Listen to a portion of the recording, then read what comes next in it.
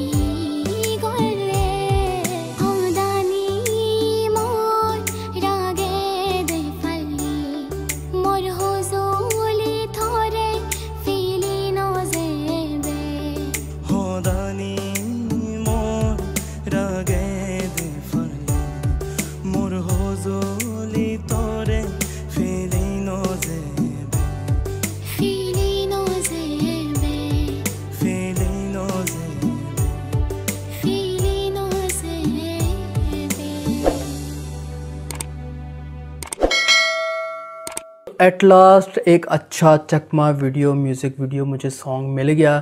क्योंकि सॉन्ग्स तो बहुत ही अच्छे होते थे चकमा के, लेकिन जो ओरिजिनल जिसकी वजह से नॉर्थ ईस्ट इंडिया मशहूर है, जो उनका कल्चर है, वो लास्ट टू चकमा वीडियोस के अंदर मुझे नज़र नहीं आया वो डोल्बी और वो मोबाइल नंबर के अंदर। तो इसके अंदर प्रॉपर एक स्टोरी नज़र आई, एक वीडियो नज़र आई, एक उनका जो कल्चर नज़र आया, एक उनकी जो डिसेंसी नज़र आई, जो डिसेंट स्टोरीज़ होती है डिसेंट लव होता है डिसेंट एक लव स्टोरी चलती है, वो नज़र आया हो। और इनके जो कल्चर ड्रेस हैं, जो वुमेन जो कास्ट के अंदर जो लेडी थी, उन्होंने डिफरेंट चेंज किए और बहुत प्यारे इनके ड्रेस थे। स्पेशली जो रेड ड्रेस था, इनका बहुत ही इनको सूट कर रहा था। जो सबसे अच्छी बात लगी, वो मुझे ये ली थी कि बिल्कुल वलगैरिटी नहीं है, जो कि क्वालिटी है नॉर्थ ईस्ट इंडिया की इंडस्ट्री की। जो लास्ट मुझे जो दो चकमा वीडियो सॉन्ग मिले थे डोल्बी और मोबाइल नंबर उसके अंदर एक आइटम नंबर बनाकर पेश किया गया था रिस्पेक्टेड लेडीज़ को, जो कि मुझे अच्छा नहीं लगा, क्योंकि north east north east industry को मैं पसंद इसलिए करता हूँ, क्योंकि वो वो बॉलीवुड से हट के इंडस्ट्री है और एक अपना, उन्होंने कल्चर प्रिजर्व रखा हुआ है और अपनी उन्होंने वैल्यूज़ उन्होंने प्रिजर्व रखी हुई जिनको लेकर वो चल रहे हैं और यही उनकी ख़ास बात है, जो इस वीडियो सॉन्ग के अंदर बिल्कुल नज़र आई और ओवरऑल सॉन्ग बहुत ही अच्छा था वीडियो बहुत ही अच्छी बनाई हुई थी स्टोरी बहुत अच्छी थी और सिंगर ने सॉन्ग बहुत ही अच्छा सिंग किया था और लिरिक्स तो बहुत ही आउट क्लास थे।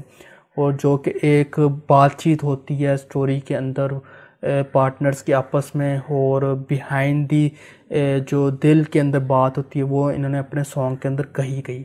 तो बहुत ही अच्छा मुझे लगा सॉन्ग सुन के और वीडियो देख के, क्योंकि ऑब्वियसली असल चकमा वीडियो सॉन्ग्स और वीडियोस यही हैं असल कल्चर यही है चकमा इंडस्ट्री का और जो नॉर्थ ईस्ट की इंडस्ट्री है। तो मुझे बहुत अच्छा लगा और उम्मीद करूँगा कि डिफरेंट आप चकमा वीडियोस को मुझे सजेस्ट करते रहेंगे और मुझे आप प्यार करते रहेंगे और सब्सक्राइब करते रहेंगे। चकमा के रहने वाले लोग जो मुझे पसंद कर रहे हैं, जो मुझे देख रहे हैं सब्सक्राइब कीजिए, किए बगैर आपने बिल्कुल नहीं जाना होता, ये आपने याद रखना है। इसके अलावा जाने से पहले, जैसा कि आपको पता है कि मुनीर लाइव रिएक्शंस को आपने सब्सक्राइब करना है बेलाइकन को प्रेस करना है, ताकि आने वाले तमाम वीडियोज़ आपके नोटिफिकेशन में आपको मौसू होते रहें।